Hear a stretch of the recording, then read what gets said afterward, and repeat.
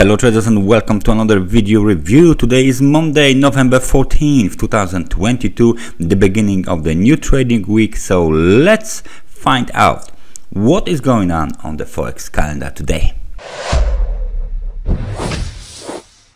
As you can see, there isn't much uh, important event um, that might be very big market movers uh, for today. However, we got some other uh, events that will uh, generally makes uh, a difference uh, during the market opening hour. We got the industrial production data from the European Union scheduled for release at 12 um, uh, p.m.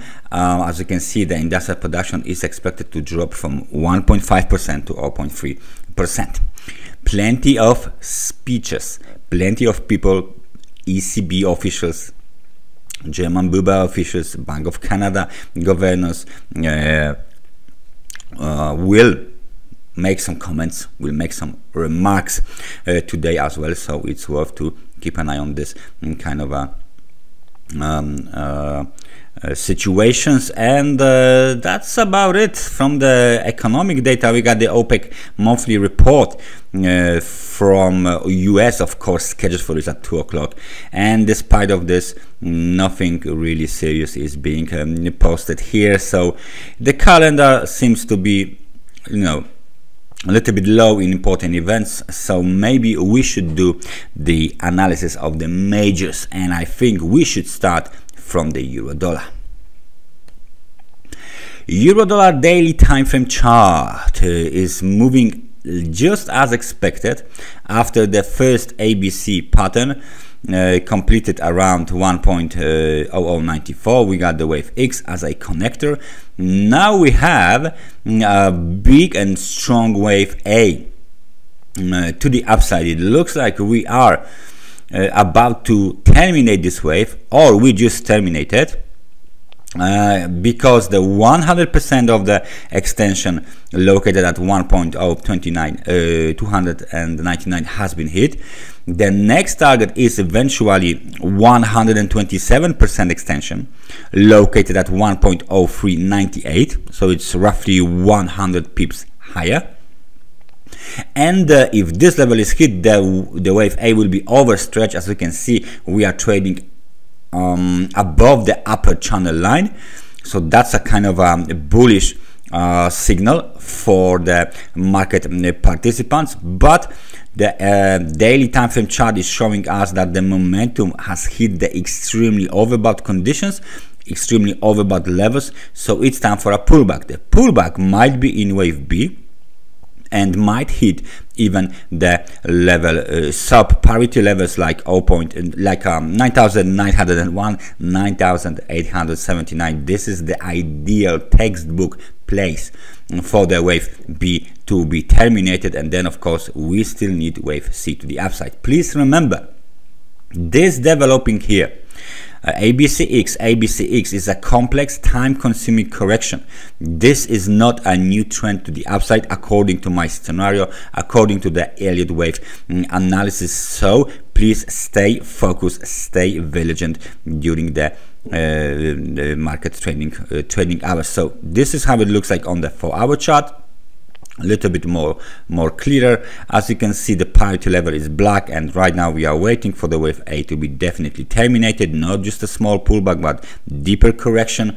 Um, the technical supports are 1.0 122 1.0 uh, 94 so it looks like just around the parity we'll, we, we can have a termination of the wave B and then wave C can be uh, done. Of course the wave C will be out of the channel. So in that situation our channel will be uh, uh invalidated so um, the upper levels will be will be hit soon. The target for the wave C might be even extended towards uh, 1.608 as a target, um, uh, which is really really you know uh, way above the uh, parity uh, level. So that's the euro dollar. Let's find out what is going on on the British pound.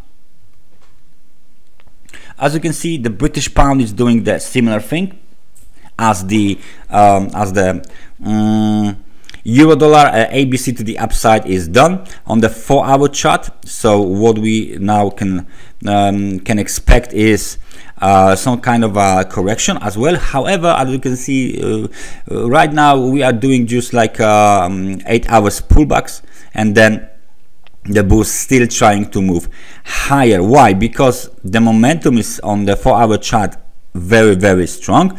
Hits the oversold, sorry, overbought market conditions. However, it doesn't want to go down yet.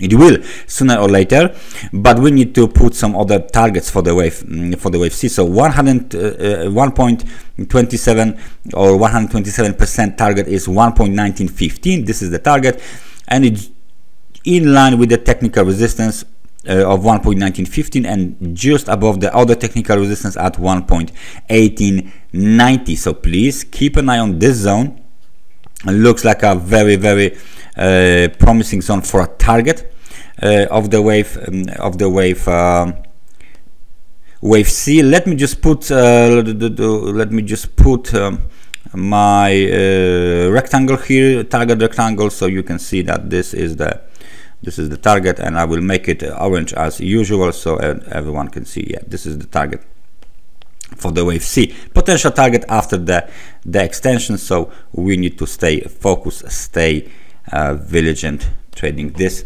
market. Of course, the levels uh, 1.1770, um, 1.1739, 1.1760 are the technical supports right now. The other supports are 1.1599, 1.1622, 1.1646. This is still a corrective movement to the upside. This correction is getting more um, complex and time consuming. Please be aware of the fact that the downtrend is still being um, maintained uh, on the larger uh, time frames and what we are seeing here is the upward correction of the downtrend. The next market will be the US dollar to the Japanese yen and the US dollar to the Japanese yen uh, as you can see has hit our target for the wave C. Let's find out what's going on on the daily time frame chart. As you can see on the daily time frame chart, RSI is on the extremely oversold conditions right? So we should expect a bounce. Target was hit, even the extended towards 1.3932. Uh, so that's the that might be the low uh, for the wave uh, C. And please notice the fact that we should expect some sort of the bounce now. Um, the downside movement might be in five waves. Okay, so please please be uh, be aware of this that uh, the alternate count for this scenario is wave 1 or A, 2 or B, 3 or C. So if the level of 145 is not violated before new low is made, then there is a chance for a more impulsive decline in the US dollar to Japanese yen in form of the zigzag. So we will have 1, 2, 3, 4, 5, connector 1, 2, 3, 4, 5, and then the uptrend will resume. The market of the US dollar to Japanese yen is still in the up uh, trend is trading as you can see from the extremely overbought conditions to the extremely oversold. So if the uh, if the scenario is correct this is only ABC correction to the downside. How much did we made uh, in terms of the price range during this correction? Yes, so far of course so far we made 8.87 uh, percent. And let me just zoom out to see. Yeah this is the biggest correction. This is the biggest correction so far during this uh, let's say up move from here unless this is biggest. Let me just take a quick look here. And this is only 3 percent as well. 389 277 377 those corrections here was the, the, the, the those corrections here were all mm, the same. So I think that this is the um, sorry this is the biggest correction uh, so far which means um, that's completely different cycle right now. We are in during this 8.87% move to the downside. So we are in a corrective cycle.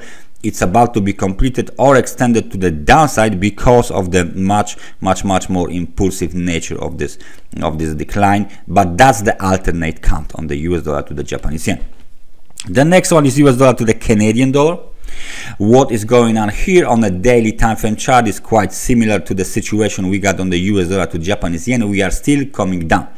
Okay, so we got the failed bullish uh, engulfing pattern so um, that one is the, the correct one the old one this one has failed and we got the bearish sandwich so we should push to the downside next target our blue, arrow 1.30 to 21 almost hit. We missed this by the four pips.